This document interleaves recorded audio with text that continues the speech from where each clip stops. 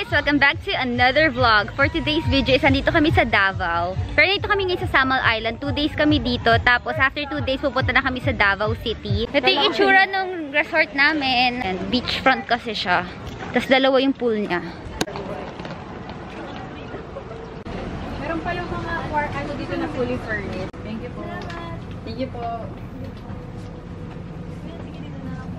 May ref din pala dito eh. Uy, sarap. Ayun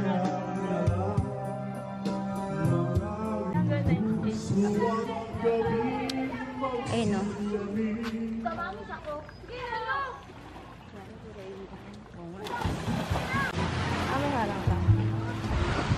Kompleto na pala dito lahat sa resort na to. Kompleto na lahat. Kasi may convenience store din sila. Tapos pwede kayong kumain. Ayun.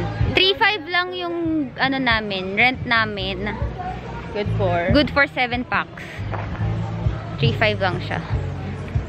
All in all, okay naman yung resort. Maganda naman siya.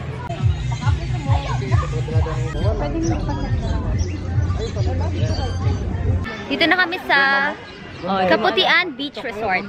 Ilalagay ko pala sa description box yung mga um, binayaran namin, entrance fee, environmental fee, pati yung binayaran namin sa hotel and sa tour guide para alam nyo rin. Budget na itinerary nasa description box.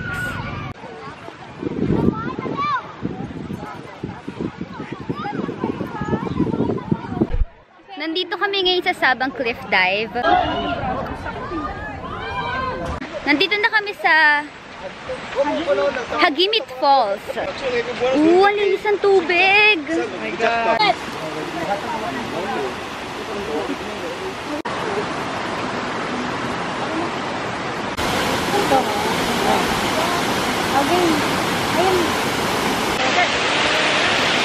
Dito na kami. Puti na lang kami lang yung tao. Yan. Yan.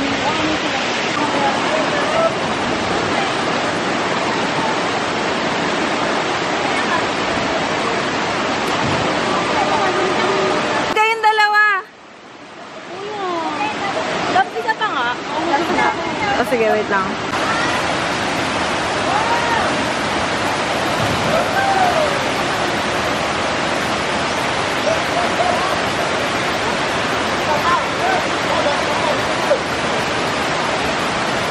Hi guys, dito kami sa Asnebo Grill and Restaurant. Kakain kami ng lunch.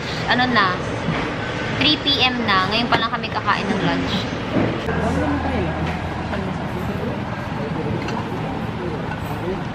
Kasya lang yung laman. Ano, ano? Sakto lang yung laman.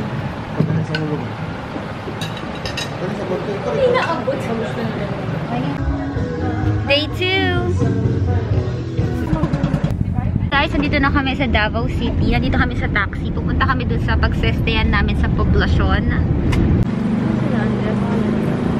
Ah, Punta kami sa Glass House Cafe. Sobrang linis dito sa Davao. Asan? Yan. Dito na kami sa Glass House. Wala kasing signage sa labas.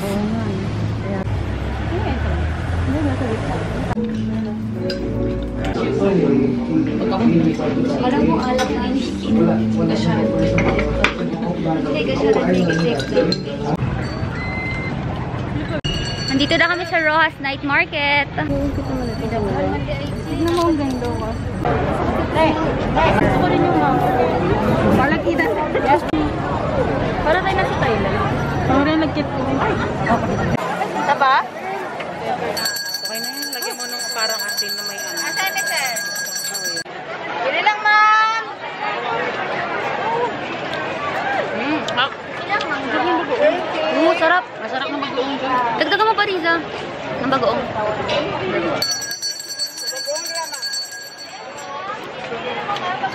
Sarap. Ito gusto ko. Ako din yung Ano sumisili? Dito kami sa Davao's Famous. Kakain kami ng breakfast.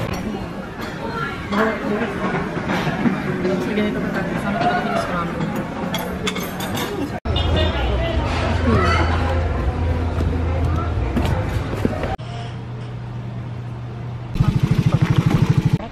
Nandito na kami sa Eden Nature Park. Sobrang ganda dito. Sobrang lamig. Kaso sobrang layo. Ayan.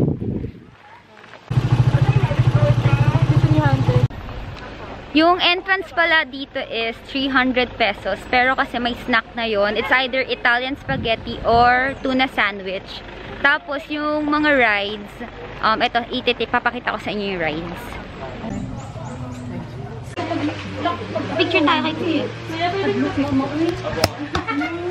Maakit na kami para mag activities.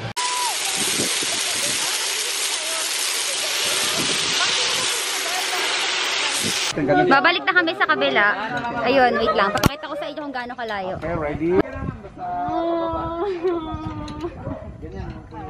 Okay. Let's go! Woo! Asan ka, Za? Za! Hello! Asan kayo?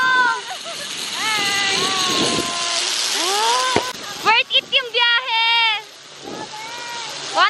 Biyahe, worth it! Kakatapos lang namin mag-sky cycle. Sobrang enjoy. Nakakatakot lang siya. Pero super enjoy naman siya. Parang all in all, 4 minutes siya balikan. Must try.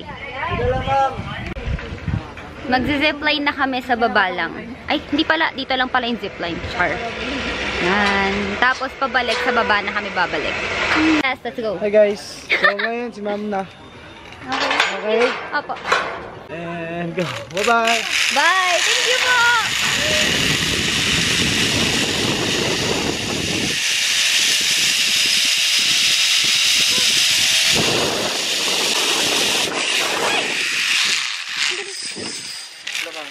Hello po!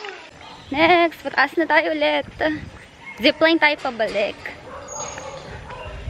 Let's go.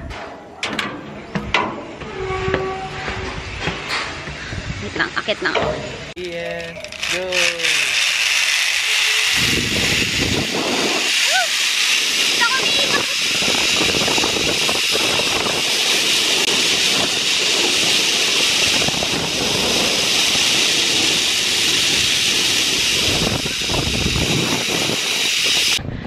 Done na kami sa activities. Kain na kami dun sa snack.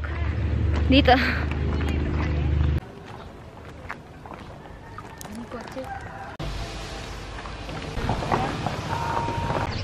Bili kami ng aling Foppings halo-halo. Sikat daw yun dito eh. Best halo-halo in Davao.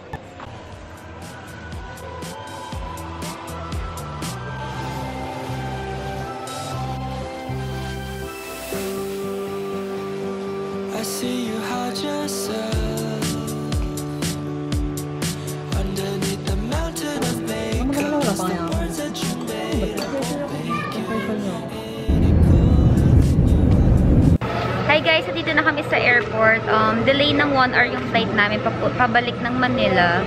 If pupunta pala kayo sa Eden Nature Park, if nasa poblasyon kayo, sakay kayo ng jeep, patoril, 30 pesos lang yung pamasahe. Tapos sabihin nyo lang sa jeep na ibaba kayo sa Paiden Nature Park. May mga tricycle doon. Um, 100 pesos yung pamasahe Paiden Nature Park. Each yun na, 100 pesos. Tapos after nyo naman mag-ride, saka kumain sa Eden Nature Park, uh, may mga terminal din ng tricycle doon. Same pa rin yung ano, 100 pesos din.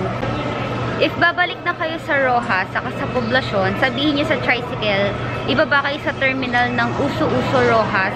Or poblasyon, basta alam na ng mga tricycle yun doon para dire-diretso yung biyahe nyo. 30 pesos lang din yung pamasahe doon. So, ayun lang.